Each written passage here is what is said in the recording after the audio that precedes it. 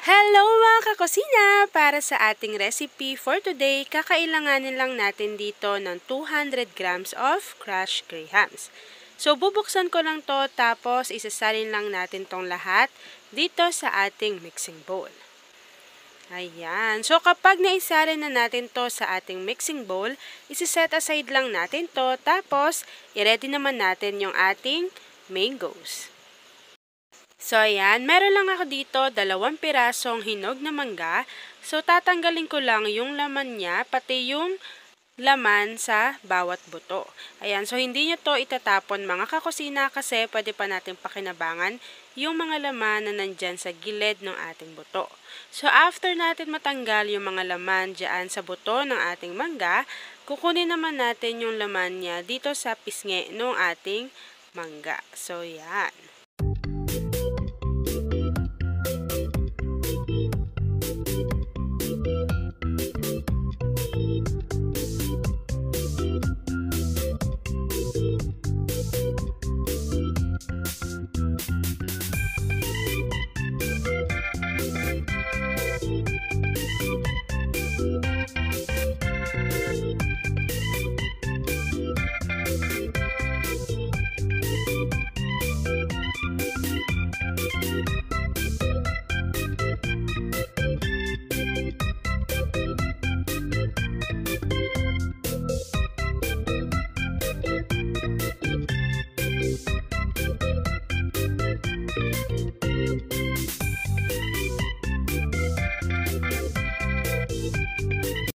Mga kakusina, habang hinihiwalay ko yung laman ng ating mangga dito sa ating mixing bowl, please don't forget to like and follow yung ating Facebook page, Kusina ni Angel, and kung meron ka ring Instagram, i-follow mo na rin ako doon, Kusina ni Angel, and kung gusto mo ring mag-share ng mga niluluto mo, pwede kang sumali sa ating Facebook group, hanapin mo lang yan sa ating Facebook page. Kapag na-separate na natin yung laman ng ating mangga sa ating mixing bowl, gagamit lang tayo dito ng masher para madurog nating maigi yung ating mangoes. Pero kung wala naman kayong masher, pwede kayong gumamit ng tinidor since hinog naman yung mangga na ginagamit natin dito. O kaya kung meron naman kayong blender or food processor, pwede nyo rin tong ilagay doon para mas mapadali ninyong madurog yung ating mangga. Kapag nadurog nyo na tong maigi, pwede nyo nang kunin yung sinet aside nyo kanina na crushed grahams. Tapos, pagsasamahin lang natin tong dalawang ingredients, pero paunti-unti lang natin ilalagay itong nadurog nating mangga. Ayan, so ilalagay ko lang yung first batch dito sa ating crushed graham. Ayan, tapos after adding neto ng mga mangga, pwede na natin tong i-mix. Ayan, tapos Haluin lang natin itong maigi hanggang sa mag-corporate na silang dalawa. Kapag nailagay na natin yung first batch ng ating mango, isasama na natin itong natira. Ayan. So, ginawa lang natin yon para hindi tayo mahirapan sa pag-mix ng ating mixture. Ayan. So, gagamit lang ako dito ng plastic gloves para mas mamasa nating maigi yung ating ingredients. Ayan. Tapos, after mixing neto, dapat ganito yung makukuha ninyong consistency. Kapag naging ganito na yung consistency ng ating graham, pwede na natin tong bilugin gamit lamang yung ating mga kamay. Tapos, kumuha na lang kayo ng gusto ninyong amount. Ayan. So, bibilugin ko lang to mga kakusina. Tapos, ipapakita ko na sa inyo kung ano yung natapos nating recipe for today.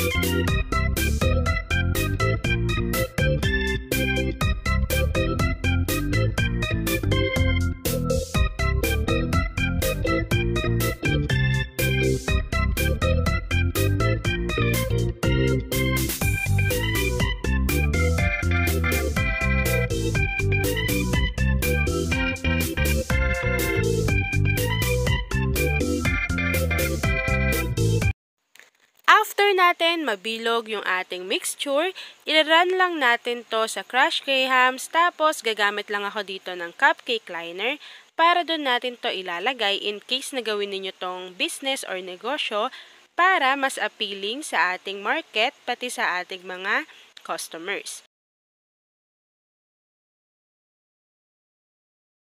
Hello mga kakusina! Kung hindi ka pa nagsusubscribe sa aking channel, please click subscribe button, click notification bell, click all, para lagi kang notified sa bawat upload kong mga videos. Thank you!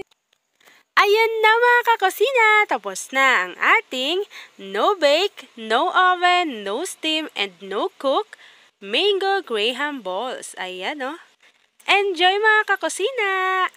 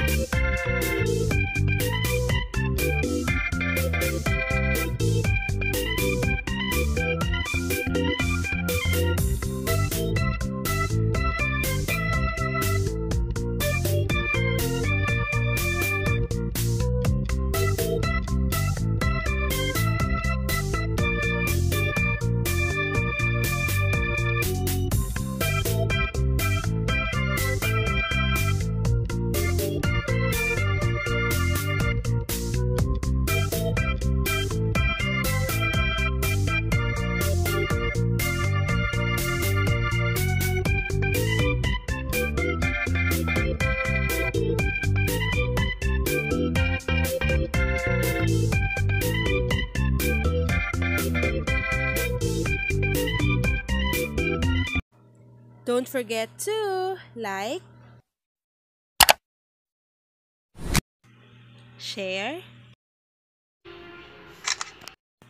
and subscribe.